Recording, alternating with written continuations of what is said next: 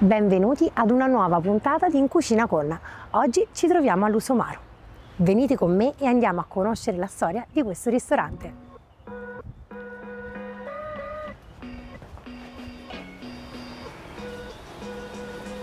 Eccoci qua. Ciao Esther. Ciao, benvenuta. Ciao. Allora, Francesca Anna Maria, voi siete l'anima e il cuore di questo ristorante. Eh sì. Ma volete raccontarmi qual è la storia dell'Usomaro? Certo, il ristorante Lo Somaro nasce nel 1949 e quest'anno compie 75 anni. Ha sempre avuto una gestione familiare, noi siamo la terza famiglia che ha l'onore di gestire questa attività e l'abbiamo sempre cercato di mantenere in un ambiente familiare, caldo e accogliente. Ma perché si chiama l'Usomaro? Si chiama Lo Somaro perché in antichità questa era la stalla dei somari. Accimicchia, infatti, allora, devo dire che si vede moltissimo un tratto, diciamo, eh, molto importante che si nota già entrando dell'arredamento, ma anche proprio della struttura, è il fatto che sia molto in legno. Sì. Avete comunque mantenuto negli anni questa- questo stile di questo Sì, ristorante? eh? sì, sì. A volte c'è stato più legno, poi abbiamo tolto più legno, però è Poi stato sempre rimodernizzato di anno in anno, sempre qualcosina abbiamo ritoccato. Voi avete preso questa attività quattro anni fa, giusto? Sì, in pieno Covid. È stato duro all'inizio perché abbiamo dovuto faticarci il doppio, Certo. però piano piano ce l'abbiamo fatta e adesso ci stiamo prefissando dei nuovi obiettivi. Quindi nuovi obiettivi, nuovi traguardi, quali sono? Più, più apertura a pranzo, stare aperti anche a pranzo. Eh, abbiamo iniziato già adesso con il fine settimana da molto tempo a stare aperti a pranzo e puntare molto sulla banchettistica, su tutte le cerimonie, ehm, dalla classica comunione, cresima, battesimi, anniversari di matrimonio, ci puntiamo molto a fare questo tipo di lavoro. Sentite, ma una curiosità, quali sono i vostri cavalli di battaglia o quali sono i preferiti di chi viene a mangiare qui? Abbiamo una vasta gamma di antipasti, primi e secondi alla griglia e in padella, ma, e soprattutto anche la pizza abbiamo. I più, più preferiti sono la pasta fatta in casa da me e, e molti secondi cucinati a lungo, con calma. Io prima ho sbirciato la carta dei dolci, eh. Sì. ho visto che avete tantissimi dolci, quanti Sì. sono? Sono circa 18 dolci in menù, di cui 16 fatti tutti da noi. E la particolarità è che siamo anche il ristorante dell'associazione AIC del senza glutine, quindi tutti i nostri piatti sono tutti senza glutine. Allora Francesco, abbiamo detto che la pasta è fatta in casa, Sì. soprattutto la pasta è fatta in casa da te. Sì, Quindi la gestione della cucina è tutta tua. Sì, sono 21 anni che sto in questa cucina. Prima lo facevi da chef, adesso lo fai da titolare e chef. Chef, sì. Quindi Anna Maria, tu controlli invece il servizio, ti occupi Sì. quindi della sala. Sì, delle prenotazioni, della messa in place, della scelta dei vini. Quindi sei tu che scegli le cantine. Sì, abbiamo un'ampia selezione di vini nazionali e E umbri. umbri. Sì, Quali vini vanno per la maggiore? Umbri o nazionali? umbri. Mm, allora, facciamo una cosa, a me è venuta già l'acquolina in bocca. Andiamo in cucina Certo. a scoprire e a Certo. conoscere questi piatti? Come no, volentieri. Andiamo. Bene, via.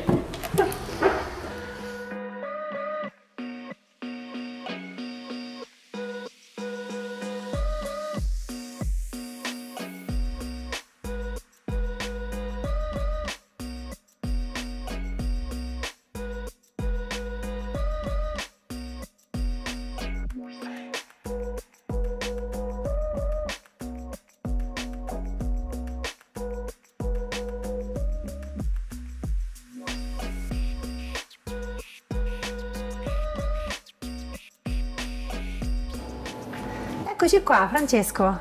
Siamo nel tuo regno. Eh Cosa già. ci stai preparando di buono? Allora, adesso iniziamo con un antipasto, faremo la coratella, la nostra coratella tipica. È un piatto ultracentenario, quindi lo propongo sempre.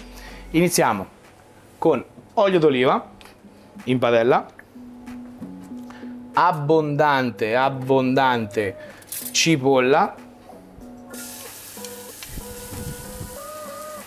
e poi le nostre erbette aromatiche, le nostre rosmarino, salvia, un po' di mentuccia e la coratella. Facciamo soffriggere un po' la nostra cipolla. Aggiungiamo un po' di rosmarino, salvia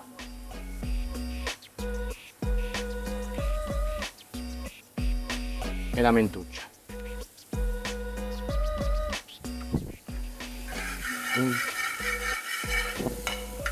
E poi mettiamo la nostra coratella precedentemente tagliata.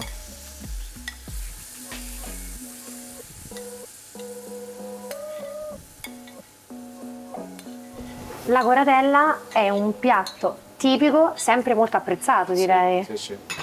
In questo periodo pre-pasquale e soprattutto che è stagionale è molto buona con i carciofi, fatta in bianco con i carciofi. Questa adesso la facciamo eh, rosolare bene. Rosolare bene e poi la sfumiamo con un ottimo bianco e la faremo cuocere per due ore con aggiunta di un po' di brodo vegetale. E la cordella è pronta. Sale, pepe, peperoncino e sarà Ed fatta. è pronta da mettere in tavola. Senti, viene accompagnata con qualcosa di particolare o viene servita così? Servita così su una ciotolina e in questo momento la inizieremo a servire anche con i carciofi, con i carciofi fritti, croccanti sopra. Quindi come guarnizione? Come guarnizione ma anche d'accompagnamento perché i carciofi sono buonissimi in tutte le versioni. Non vedo l'ora di assaggiare il tutto. Allora. Sta rosolando, è il momento di aggiungere il vino.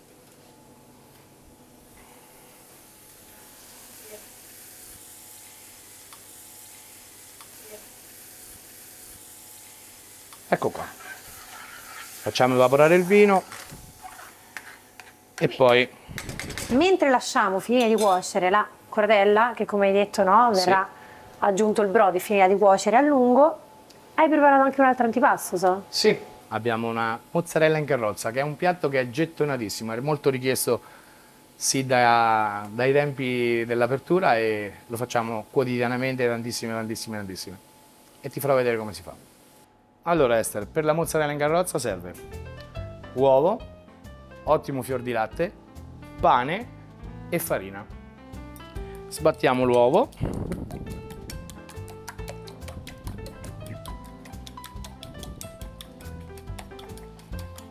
Ed è pronto.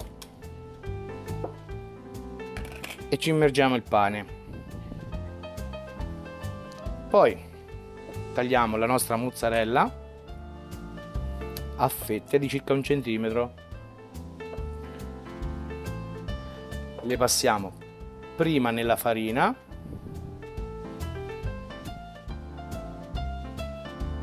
facciamo aderire bene, poi nell'uovo e poi l'appoggiamo sopra il pane. Ecco qua. E adesso friggiamo. Aspettiamo che l'olio arrivi a ah, temperatura. Ah, fai la prova col dito, no? Con lo stecchino. Ah, questo è il livello pro. La prova del dito e non dello stecchino. E adesso friggiamo la nostra mozzarella in carrozza. Con la mozzarella sempre rivolta verso il basso. Rimane quindi aderente? Sì.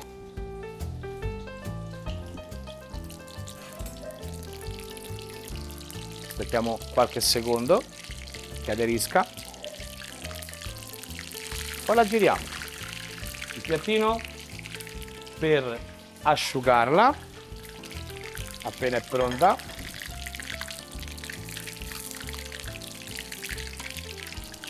Ed è pronta.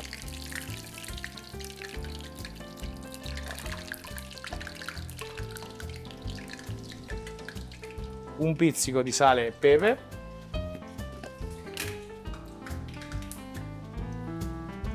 E la mozzarella in carrozza è pronta serviamo tre Semplice e gustosa. Semplice e gustosa, non leggera, ma buona. Non leggera, ma... I nostri antipasti più gettonati, la coratella e un assaggio di mozzarella in carrozza. Se solo si potesse sentire il profumo anche dallo schermo, voi non potete capire che profumo che sale da queste pietanze. Qui è Allora, profumatissimo. cosa ci prepari invece come primo? Adesso facciamo due, riso- facciamo due mm, primi piatti. Uno è il nostro storico, il risotto dell'asina. Non è tipicamente ternano, ma è il risotto simbolo del ristorante. E l'altro è una tagliatella carciofi, guanciale croccante e scaglia di pecorino.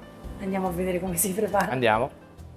Allora, Francesco, descrivimi un po' questo risotto dell'asina. Subito, subito. Allora, il risotto dell'asina è un risotto che ha una ventina d'anni, l'ho inventato vent'anni fa. È un risotto non tipicamente umbro, ma l'ho inventato vent'anni fa, è un piatto ormai storico, quindi non lo cambierò mai. Si inizia con casseruola, burro, cipolla,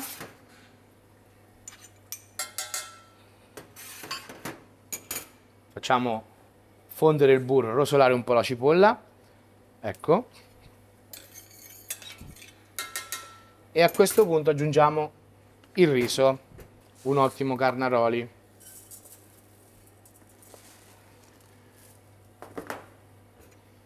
Facciamo velocemente tostare il riso.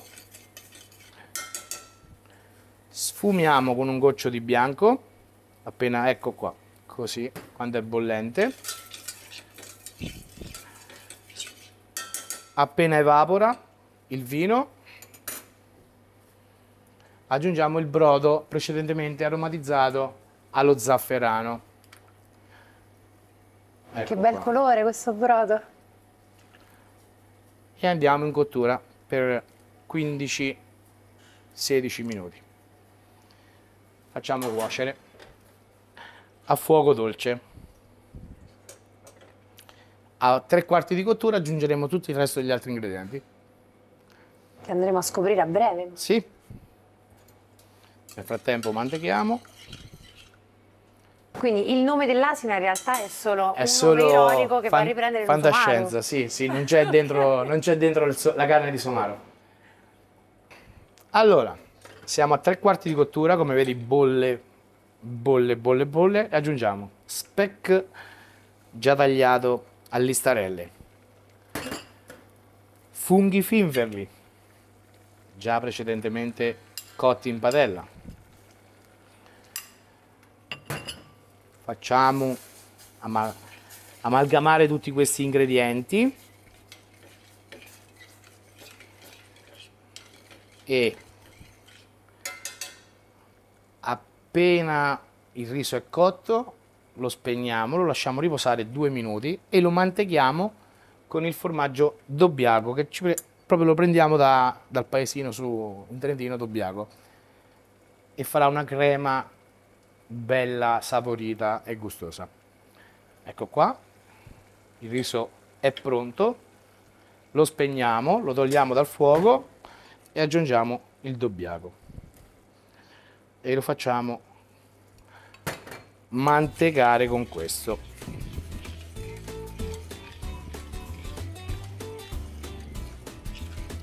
E adesso facciamo sciogliere il dobbiaco che farà la nostra cremina e il riso è pronto. Lo aggiustiamo di sale e pepe e questa eccola, è l'onda. Il riso quando è, è pronto deve fare l'onda. C'è questa cremina che volendo uno potrebbe fare anche la scarpetta. Certo. è obbligatorio. Il riso è pronto e lo impiattiamo. Allora Esther, adesso invece prepareremo le tagliatelle fatte da me con guanciale croccante, carciofi e scaglie di pecorino. Partiamo con una becca d'aglio in padella, carciofi tagliati finemente, ecco qua,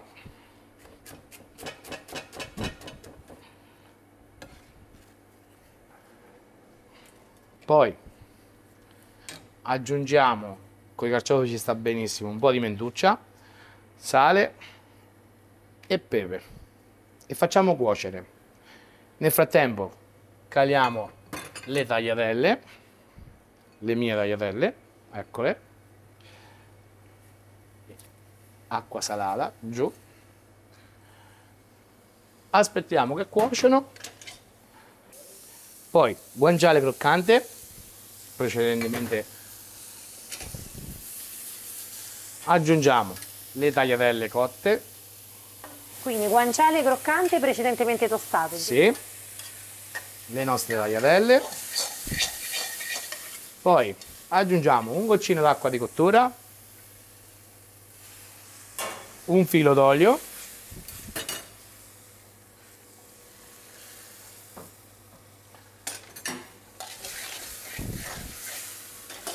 facciamo ancora tirare un po' la salsina e siamo pronti. E siamo pronti per E impiattare? impiattiamo. Ecco qua il nostro risotto dell'asina. Come vedi il formaggio dobbiaco si è sciolto e ha fatto la sua cremina saporita. E andiamo a impiattare questo riso con lo zafferano, lo speck, i finferli e il dobbiaco. Ecco qua. E questo è il nostro riso L'aspetto e il profumo. senza aggiungerci nient'altro perché è già bello così giallo e variopinto dai suoi ingredienti. Poi impiatteremo le nostre tagliatelle.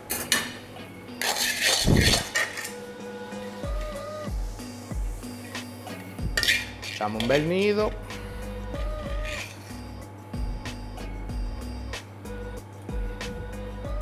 E aggiungiamo sopra tutto il condimento che abbiamo fatto.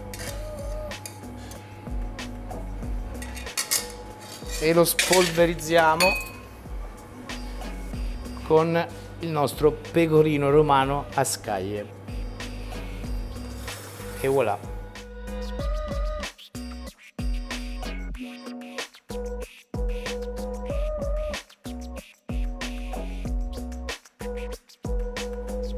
Francesco, vedo che hai già sistemato un paio di padelle, quindi immagino andrai a preparare un Sì. secondo, uno... Due secondi. Due secondi. Faremo uno spezzatino di manzo con tartufo estivo e un petto di faraona più particolare, più colorato che adesso vi farò vedere. Andiamo?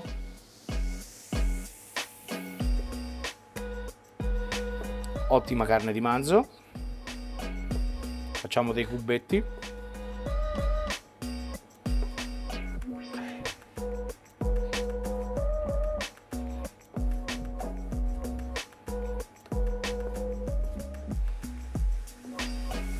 Poi li mettiamo in padella con olio, aglio e rosmarino. Ecco qua, pronti. Olio bello caldo, rosmarino, una becca d'aglio. Facciamo profumare bene l'olio con quest'aglio. Aggiungiamo la carne, sfumiamo col vino aggiustiamo di sale e pepe e facciamo cuocere per circa un'ora e mezza. Ecco qua. Carne che sfrigola sulla padella.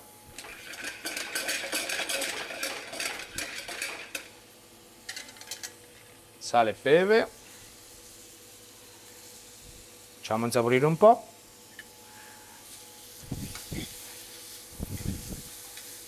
Su questo piatto ci andrà il tartufo, ma quello lo aggiungeremo solo alla fine, a fine cottura, quando il piatto sarà pronto, perché il tartufo va pochissimo cotto, deve solo sentire il calore della carne, basta, quindi a fine cottura aggiungeremo abbondante tartufo. La carne a rosolato, sfumiamo con un goccio di vino, facciamo evaporare e lasciamo cuocere per un'ora e mezza. Ecco qua. Ciao a Nanna. Ci vediamo dopo. Ci vediamo dopo per mettere il tartufo. Sì. Allora, adesso stiamo... Stiamo cuocendo il petto di faraona, già disossato, ecco, caramelliamo bene la pelle e poi facciamo cuocere sotto un pizzico di sale e pepe. Con questo, con questo petto di faraona poi lo scalopperemo, lo taglieremo a fettine sottili e lo guarniremo con eh, altri ingredienti che ti farò vedere.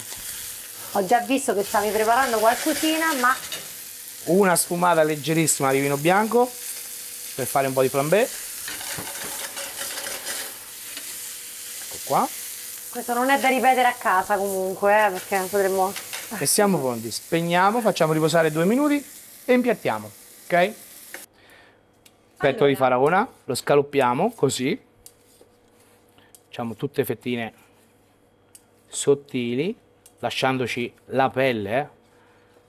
eh. Ecco qua, che è la parte più buona, più, più La gustosa. pelle è la parte più saporita, direi. Sì. Che c'è chi non la mangia poi, eh, devo dire. Sì, Non da veri intenditori. ecco qua. Appoggiamo tutto per benino qui. Ho visto che hai preparato degli ingredienti molto particolari. Sì, questo piatto è come dicevo, colorato, bello, innovativo. Valeriana, dolce. La valeriana è, un- è una verdura dolce, gustosa. Più ci mettiamo l'aspro dei lamponi, i ribs, le more e i mirtilli. In più lo serviamo con un ristretto di aceto balsamico. Questo è un piatto da leccarsi i baffi. Particolare, ma gustosissimo.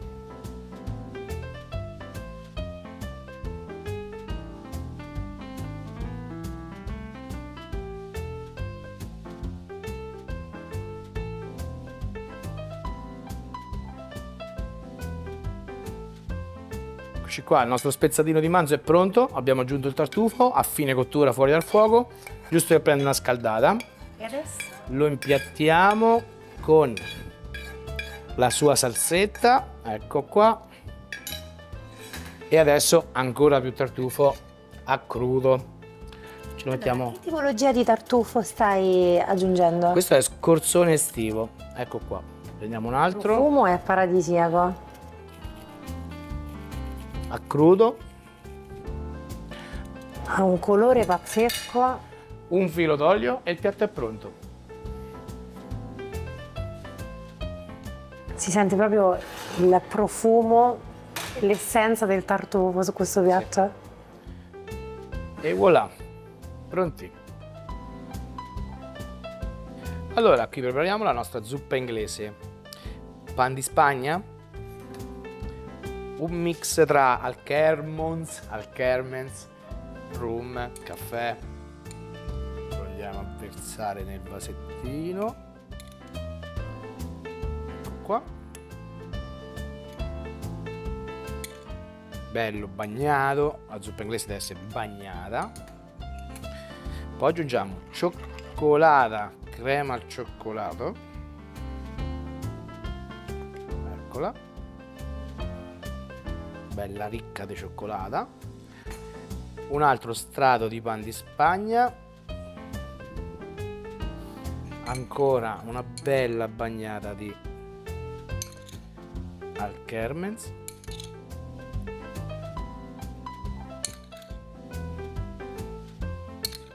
E voilà. E crema.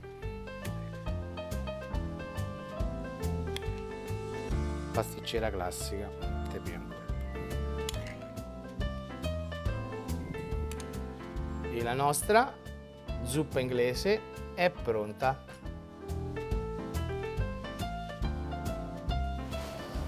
Allora, adesso Anna Maria ci sta portando questi meravigliosi piatti che abbiamo appena terminato di... Mozzarella in carrozza. E coratella. La profumatissima coratella. I nostri due primi piatti, la tagliatella ai carciofi guanciale croccante con scaglie di pecorino,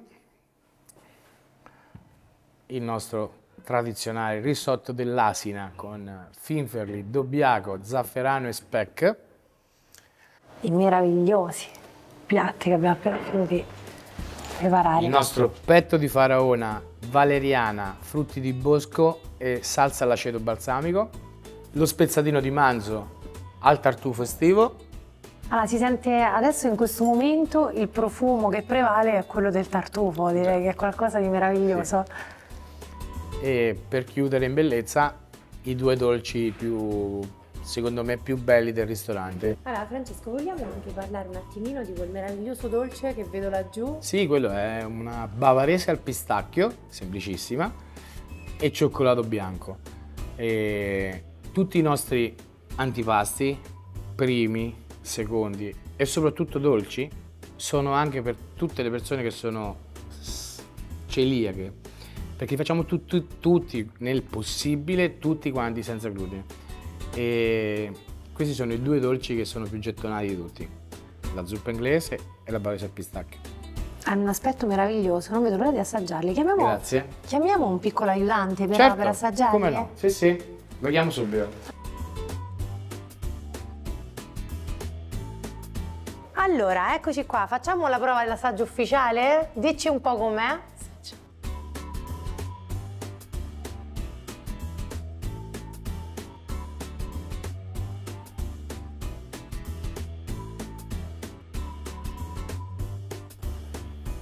Mmm, papà, questo è buono. Grazie.